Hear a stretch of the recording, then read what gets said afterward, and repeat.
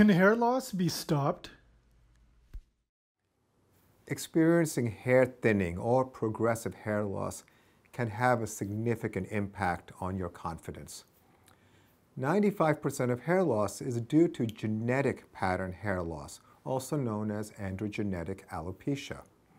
Although genetic pattern hair loss is hardwired into your DNA, you, have to ha you don't have to resign yourself to accepting it without having some options.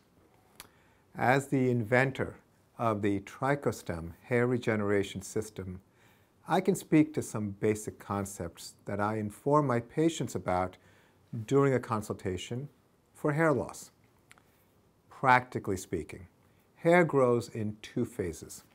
The active growth phase called anagen and the resting phase called telogen. When your hair is thinning, fewer hairs are actively growing and more hairs are in a resting phase in comparison to someone who's not experiencing hair loss.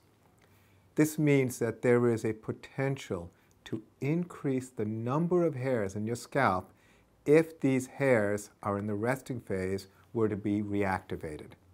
This applies to both men and women with androgenetic alopecia.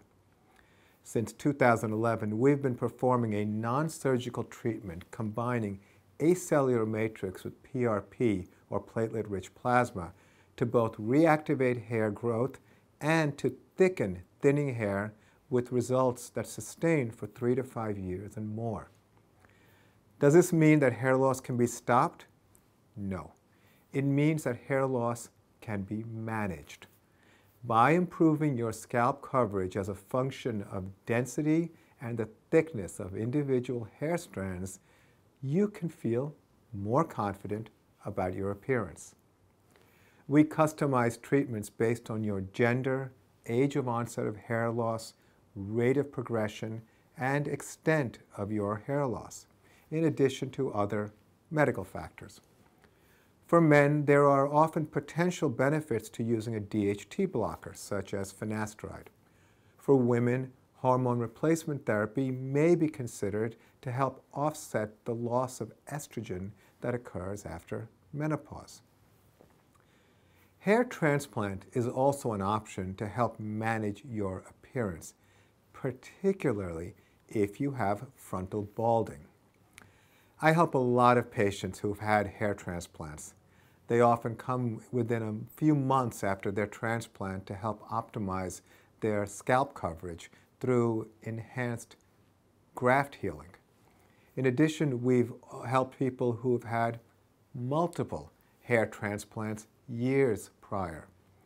We've observed that even transplanted hair can actually be viable and still not grow.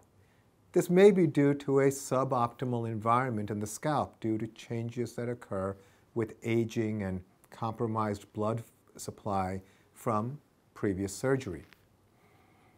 Once again, although hair loss cannot be stopped, it can be managed through different options to provide you with maximal coverage for as long as possible.